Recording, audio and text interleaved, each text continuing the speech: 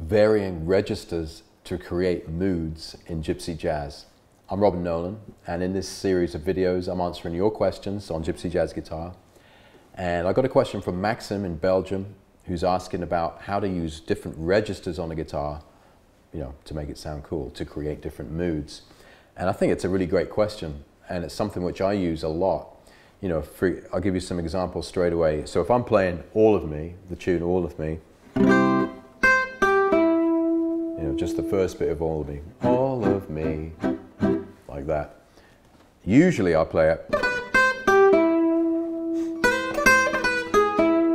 kind of always play that. But if I'm kind of in the right mood and thinking creative, then I'll use another register. You know, I might even go. You know, and that sounds, that, that's a different mood, right? So instead of all of me, okay.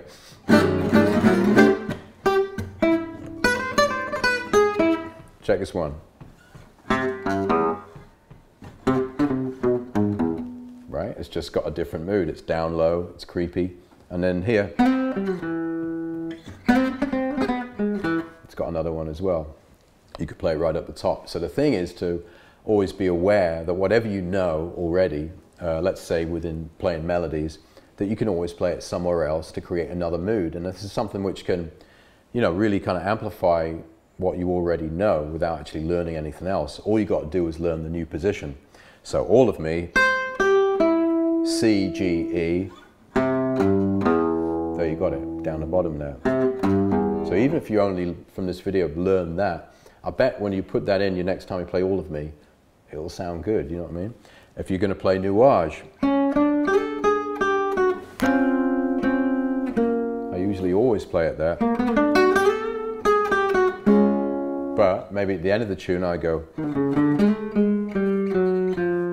play it down there, and it sounds different. So again, you already know the melody, just take the time, just take a couple minutes to,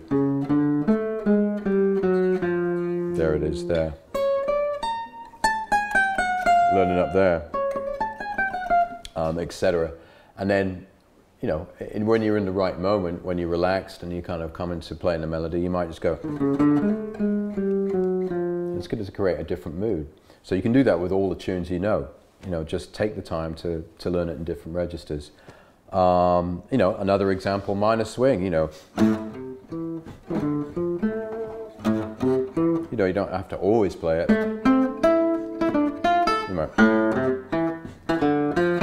It's just got a different feel, different register. That's the beauty of the guitar, you know, on the piano, you know, it just, you know, you can play different notes at different areas of the neck and you get a different tone, you know. You know, on each note. So the D, you got this sound, you got this sound. You know, they're all different, all creating different moods. So you can use that to an advantage, mix and match, and uh, it's going to sound great. So that's it for this video. You know, just be aware of using different registers. That means the same note played in a different register, down an octave or up an octave, to create a different mood. And I think it's going to sound really great and, you know, open up your playing. And not many people do it. They kind of, people, usually when they're playing stuff, they're always kind of playing in the same position. Me too, you know, I kind of keep forgetting that you can do this, you know. So, you know, Maxim's right with asking this question, that kind of be aware of using different registers to create different moods, okay? So you already know it, go and do it. Um, if you got a question yourself about Gypsy Jazz, then I'd love to answer it. So just fire me an email at questions at gypsyjazzsecrets.com.